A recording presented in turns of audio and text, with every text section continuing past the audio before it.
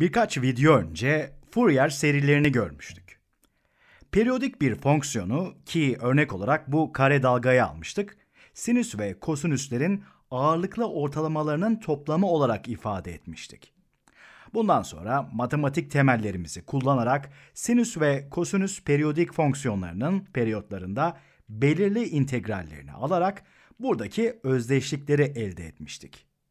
Bu noktada yani şimdi de bu özdeşliklerden faydalanıp Fourier katsayıları için formüller bulup videonun başındaki dalgaya uygulayacağız.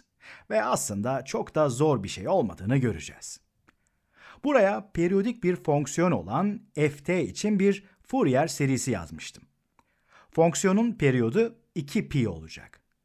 Ve burada bulunduğumuz özdeşlikleri kullanıp bu katsayıların ne olduklarını bulmaya çalışacağım. Bu videoda a alt indiz 0 ya da a 0'ı çözeceğim. Bundan sonrakinde ise herhangi birini yani AN'yi çözeceğiz. Tamam mı? Bu ve bundan sonrakinde herhangi bir BN'nin çözümünü de göreceğiz. A0'ı bulmak için bunun iki tarafının da 0 ile 2 pi arasında belirli integralini alacağım.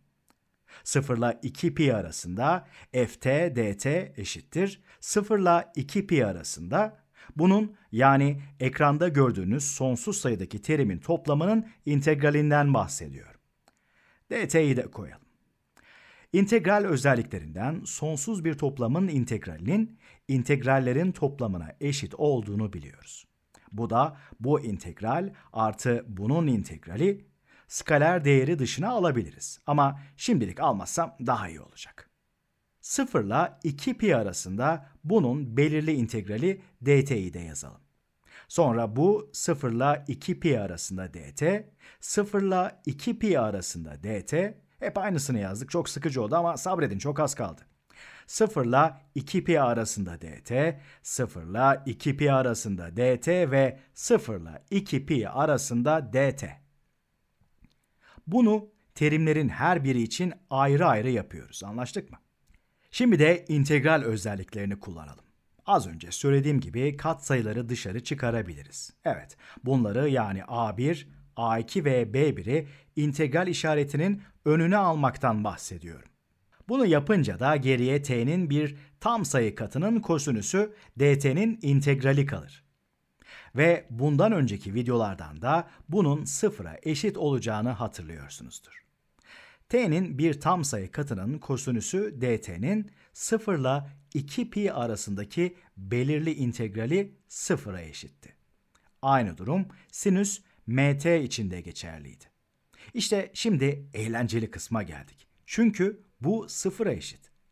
A1'i integralin dışına alırsak A1 çarpı 0 elde ederiz. Aynı şekilde A2 çarpı 0 da 0 eder. Kısacası bunun dışındaki terimlerin hepsi işte bunların hepsi 0 olur öyle değil mi? Peki ya bu neye eşittir? Yani A0? Şöyle yazayım. Boş olan bir yeri seçeyim. 0 ile 2 pi arasında A0 dt'nin belirli integrali nedir? Katsayıyı yine dışarı alalım. Evet, A0'ı buraya yazıyorum. dt'yi de buraya. Eşittir A0 çarpı t. Ve tabii bunun 2 pi ile 0'da aldığı değer olacak. Eşittir A0 çarpı 2 pi eksi 0. Bu da A0 çarpı 2 pi'ye eşittir. Bu A0 çarpı 2 pi'ye eşitmiş. Ekranı biraz kaydırayım. 0 ile 2 pi arasında ft dt'nin belirli integrali bu integrale eşit.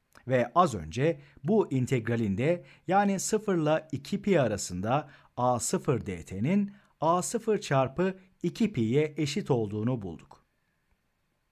Eşittir a0 çarpı 2 pi diyelim. Ve a0'ın neye eşit olduğunu bulmak artık çok kolay. A0 eşittir 1 bölü 2 pi çarpı 0 ile 2 pi arasında dt'yi şuraya yazıyorum. ft'yi de farklı bir renkle yazacağım. Evet. Şimdi bir saniyeliğine durup bunun ne anlama geldiğini düşünür müsünüz? Bu f'in 0 ile 2 pi aralığındaki ortalama değeridir. Evet. 0 ile 2 pi aralığında f'in ortalama değeri. Umarım bunun neden mantıklı olduğunu da anlamışsınızdır. Bu sayılarla oynadığınızı düşünün. Tüm bu kosinüs ve sinüsler eksi 1 ile artı 1 arasında gidip gelen değerler alırlar. Öyle değil mi? Bu da fonksiyonu göstermek için bu dalgalanmayı ötelemek anlamına gelir. Bu dalgalanmaların toplamı yine eksi 1 ile artı 1 arasında değişecek ve bunu ötelemek için de A0 sahneye çıkacak. Evet, dalgalanmayı ötelemek istiyorsanız, yani fonksiyonun ortalama değeri etrafında dalgalanmasını istiyorsanız ya da fonksiyonun bir periyodu için geçerli olan bir aralıktaki ortalama değerinde dalgalanması diyelim, A0 işte bu işe yarıyor. Bize fonksiyonun ortalama değerini veriyor.